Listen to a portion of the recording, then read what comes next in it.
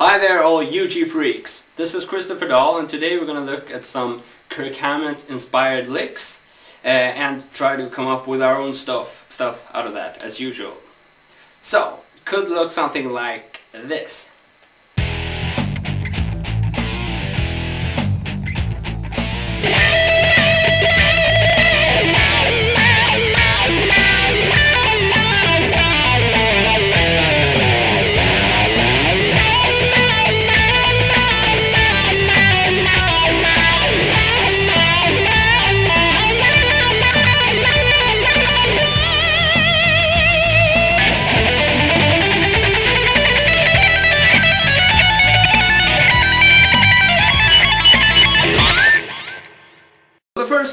Hammett style lick we're going to look at uh, is a typical rock cliche which he does a lot as well as many other other players.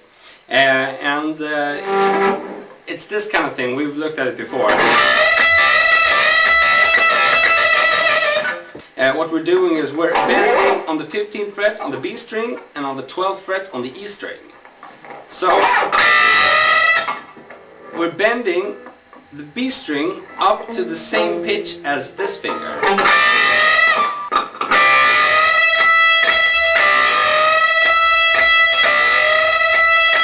So what's cool with this kind of technique is number one you get a real dirty sound out of this kind of double stop bend.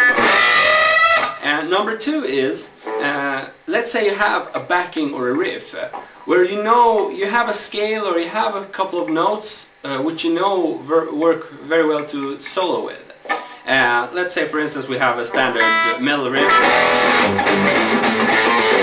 something like that, and we have these three notes which we know work very well over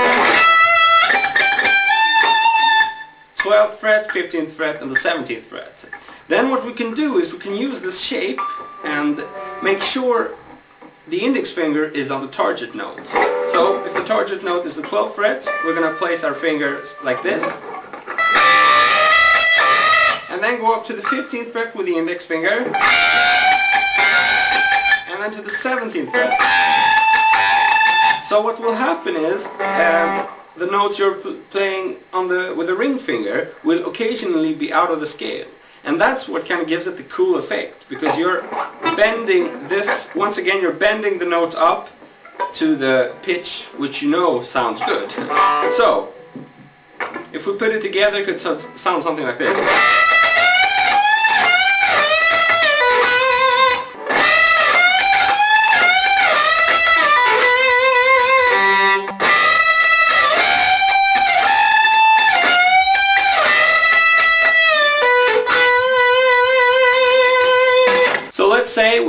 Uh, take this a little further and uh, do something uh, more original out of it. Then we can use another kind of double stop technique. Something which goes something like this.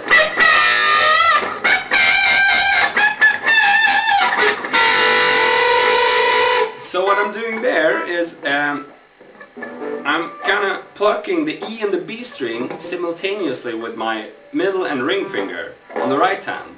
So something like this.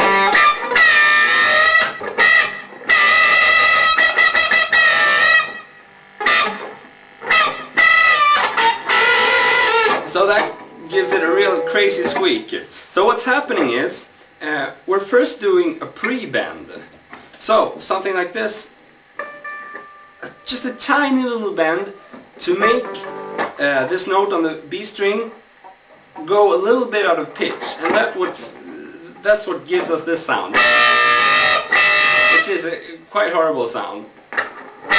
So what I'm doing is first pre-bend and then plucking with my right hand and then I'm damping again with my right hand like that. And then I'm bending up to pitch. So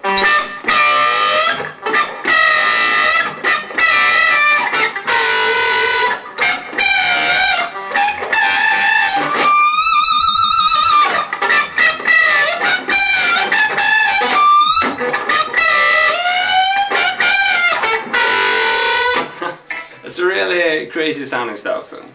Okay, so let's look at another Kirk Hammett style pattern, which is, uh, I think, a little inspired from what he did on the first Metallica album, Kill 'Em All.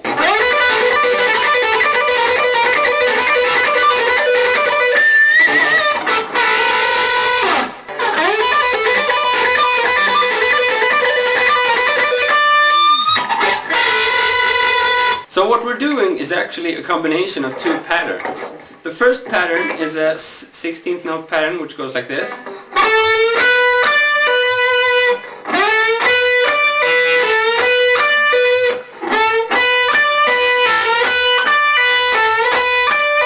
And the second pattern is this kind of thing.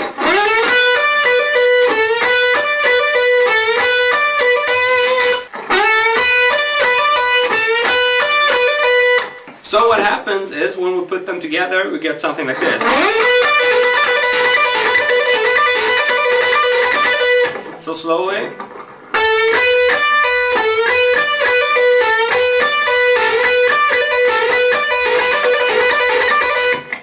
And then what you can do is, instead of doing it with these three notes,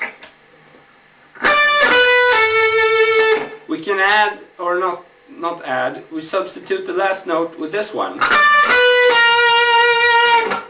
Uh, which gives us uh, the, the flat fifth or the blues note. And I just want to say that that's a scale that Kirk Hammett uses a lot, you know, the standard pentatonic scale with an added blues note or you know, flat fifth. And this scale looks like this.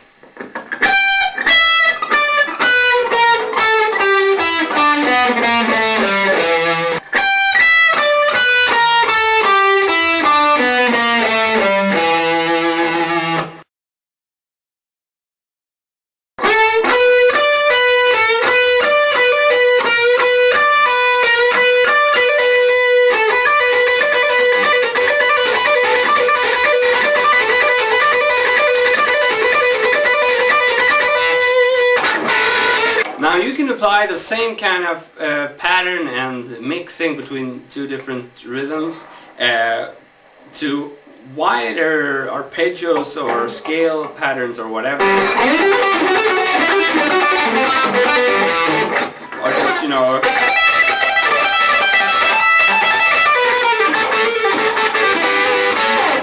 And, and try to fool around with those kind of things.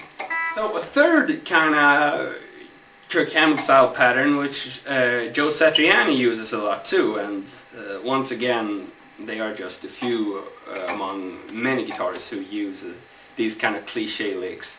Uh, it's this kind of thing.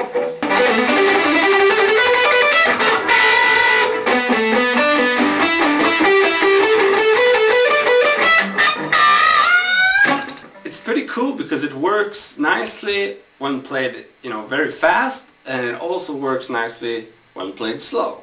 Uh, so in order to understand this, uh, it, it really facilitates if we count to you know three because we're playing triplets. So we can count like this: one, two, three, one, two, three,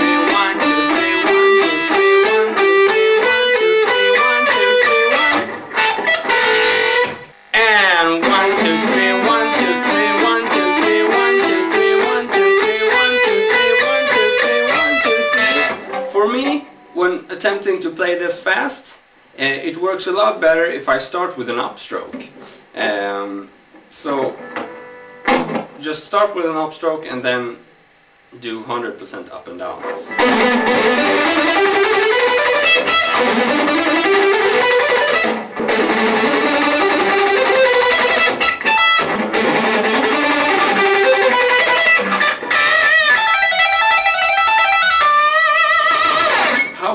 Create some variations around this and how can you start to improvise around with these kind of patterns?